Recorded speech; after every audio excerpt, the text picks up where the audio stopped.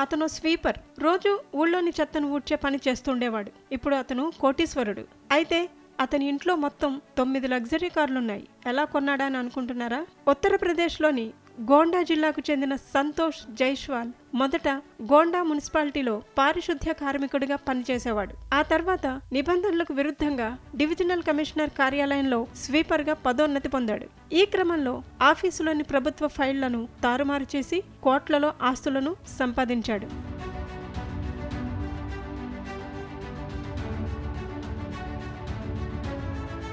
ఫైళ్ళ విషయం బయటపడి కమిషనర్ విచారణకు ఆదేశించారు. సంతోష్ గుట్టు రట్టవడంతో ఉద్యోగం నుంచి సస్పెండ్ చేసి పోలీస్ కేసు పెట్టారు. ఈ నేపథ్యంలో సంతోష్ ఆస్తులు పరిశీలించిన అధికారులు నోరెళ్ళబెట్టారు అతడి వద్ద తొమ్మిది లగ్జరీ కార్లు ఉన్నట్లు తేలింది. ఈ వాహనాలు సంతోష్ సోదరుడు అతని భార్య పేరు మీద ఉన్నట్లు అసిస్టెంట్ డివిజనల్ ట్రాన్స్పోర్ట్ అధికారి నివేదిక ఇచ్చారు. సంతోష్ బ్యాంకు ఖాతా వివరాలు కూడా పరిశీలిస్తున్న అధికారులు అతడిపై కఠిన చర్యలు తీసుకునేందుకు సిద్ధమవుతున్నారు.